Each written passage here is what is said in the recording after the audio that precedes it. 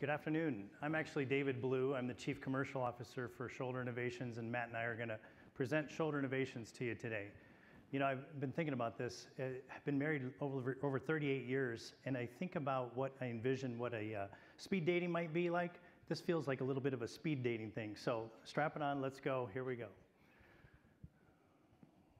Okay, yeah, I'm the one that's going to hold this up. There we go. So let's talk about the team real quick. This team I've had the privilege to work with for the last three decades. And this team is very special because not only is this team focused on medical device innovation, but it's also focused on shoulder arthroplasty. If you go back and look at what this team's done for over 30 years, we've launched the first modular shoulder system in the world. We launched the first reverse shoulder system in the world. We launched the first stemless shoulder system. And we recently just launched the first software planning system. So we've been connected with a lot of what's gone on in shoulder arthroplasty over the last 30 years. In fact, three of our partners probably have 150 patents between them, and they represent probably 50% of total shoulder arthroplasty done in the world. So, what have we been working on for the last several years? It's been called the InSet technology. And it's really designed to attack the clinical problems. And that's really what we do when we innovate. We innovate to tr- truly go after you know, the clinical problems that are there. So looking at the clinical problems, the number one clinical problem in total shoulder arthroplasty is on the glenoid side, glenoid loosening. That's our socket that's in our shoulder, for those that don't know that. And we've absolutely been able to successfully not only launch this, but prove this. And we'll, sh- we'll show you some evidence here in a little bit. But we've improved the mechanical stability. We've improved this through a minimally invasive approach and uh, the results over 12 years have been outstanding.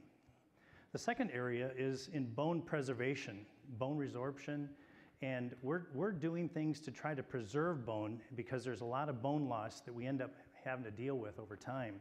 And we do that through, again, an innovative approach on our design. And we've done this with our, our shortest, having the shortest stem on the market for our humeral side. And then if you go down to the bottom of the slide, we're, we're really inventing with the end in mind as we relate to a seamless platform of technology. We have one system, one technique, and even one tray now. And we'll talk about that in just a second. But we're really trying to drive out the economic uh, efficiencies and the economic benefits. And we'll, we'll cover that here in a little bit. The fourth area is in the complexity of the glenoid on the reverse side. And in the next couple of months, we'll be rolling out our Verse system as well. We've got, we'll have five FDA cleared products through our system that attacks uh, a large portion, portion of the market. We've done this very intentionally with a micro commercialization model, and we've gone very intentionally deep in a few pockets of the country. And we're really trying to work on adoption, repeat user, repeat users, and uh, believers. And that's what's really important, as you guys know, and we're also uh, driving through the VAC analysis. As one of the biggest challenges in med device is getting things through um, uh, the VAC, the Value Analysis Committee. We've been able to successfully do that. So, where's our clinical success? That's really what's important, right? We've got uh, now out 12 years with our glenoid uh, technology, and we've got papers through the JSES that's published at one year, three years, five years, and 10 years. So it's really nice to be able to have that clinical evidence. We talked about the one tray just a second ago. I think we underestimated the power of what this one tray really has done and impact uh, the healthcare and the cost, right? Because as a rep 25, 30 years ago for me, dragging in 10, 12 trays to an OR is really kind of the norm.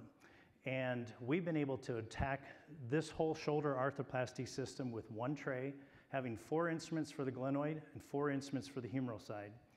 And when you think about the competition bringing in six trays for our one tray, that really does make a big impact. And I'll tell you why. Here's a picture I snapped the other day.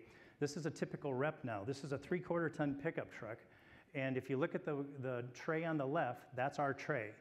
The five trays on the right is the competitive company that's equivalent to do exactly what we do with one tray. Now, the blue wrap sterile drapes that we're all familiar with, Those cost the hospital roughly 150 to $200 per tray just to wrap and sterilize and process to get ready for the case. So our one tray can have a financial impact of about six to $800 before we make an incision. So it really does make a difference. Matt's going to run through the rest of the slides here. Which one's the forward there? Big one. Great, thank you, Dave. Uh, my name is Matt Ahearn.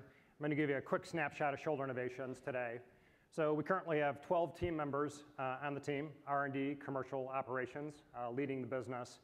Um, from a technology perspective, we have a deep and broad IP portfolio. Um, we also have been, as David mentioned, very successful getting products cleared through the FDA, uh, four to date, and our fifth year uh, we're anticipating in the first quarter of this year. Um, we've done over 1,200 cases uh, to date. And the interesting part is those 1,200 cases have all been done with 30 instrument sets. So we've been highly, highly efficient with our assets.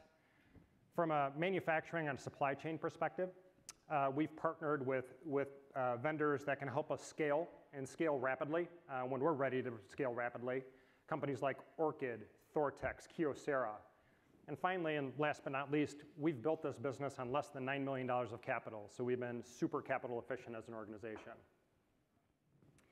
So, you know, from one of the strengths of our, of our team is innovation, and I would say rapid innovation is, is the real strength. In the first quarter of last year, we launched our humeral short stem system. And as soon as we launched that and began the, uh, we began moving on towards our augmented glenoid system and our reverse system.